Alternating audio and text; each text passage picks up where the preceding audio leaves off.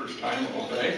I think that's cool. But uh, a great job that the club did in, in uh, putting on this event. And I was really amazed at the production of it now. Everything went off so smooth. We pulled in, there was somebody there to tell us where to go. Uh, I didn't want to go there particularly, but uh, anyway, I just parked in a reasonable place. Anyway, uh, it's interesting about the, uh, the MG thing because, of course, I'm from the old times, the old time, and uh, in 1952, when I, I bought my first MG, and it was uh, by second happenstance, I happened to land in Salt Lake City, and uh, I bought a 1952 MGTD, and uh, in about two days, we started a race team, and there were 11 cars in town, and uh, some of the fellows, they sent their cars to the West Coast and had them worked on and build engines and all that, and I didn't have any money, what am I to let that? But so I sent to England and got books. I sent to Germany and got tools, and I could read. So uh, I, I started this thing because I saw what the dealer was going to do, and I decided my car would stay home and I would work on it because at that time nobody really wanted to know anything about those funny little cars. So uh, I had quite a life with, with MGs. I had a 52, I had, so I think probably two or three more 52s, and I had a 51, and a 51, uh, finally I kept trading up, I'd fix them and sell them, and fix them and sell them, and uh, I traded up and uh, got one that I owned totally, whereupon I went to Pebble Beach, and uh, I saw Ken Miles in his MG Special. And people know about Ken Miles. Yeah. Miles, one of the, probably the greatest MG driver I've ever known or known of. Anyway, uh, I saw what he did, so I immediately came home and said, well, I'll just tear the body off and I'll build an MG Special because that seems like a reasonable thing to do and I own the car.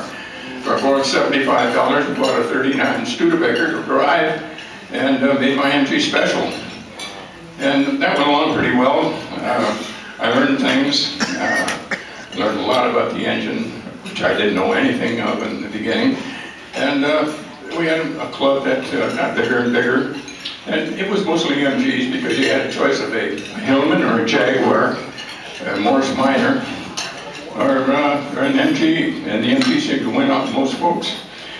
So um, we had this uh, deal up in, uh, in uh, can't remember the name of the town in Wyoming, Rock, anyway.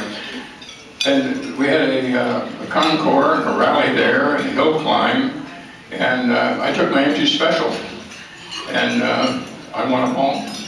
I, I, won, I won the, the, uh, the hill climb, the rally, and I had lied, I was second in the concours. and, uh, and on, the, on the way home, you know, I'm 25 years old, I'm a pretty smart guy, I know everything. I know all of it. And uh, so I've been successful. I've been very successful. And what are you going to do? I mean, I know it all now. And so we're going back down to Salt Lake. And uh, it was from Jackson Hole. I'm sorry about my memory, but anyway, there it is. And so you know, we got about halfway back, and there, and there was a, a uh, little town, and we uh, there was a shop there, and the fellow invited us all to stop by on the way home. So we go in, geez, there's a great black MG sitting there with a towel. And the guys are all standing around and they say, yeah, hey Kas, I said, what's this? You ever seen anything like this? Guy goes over and he bumps the fender and the horn goes boop, boop, boop, boop, boop. I said, oh, that's pretty neat. He's got an alarm on it, yeah. somebody goes over and says, yeah, watch this. It goes, it bangs it with boop. I said, oh yeah, let me tell you how that works. This event has got this ring, and it's got this pendulum on a string and thing, because I know it all. I'm 25. and what else is there to learn? So I go on and on and on and on. And everybody, I seem smiling, which should have been a clue. Pretty soon, sit, the guy comes out from the, the tonneau cover.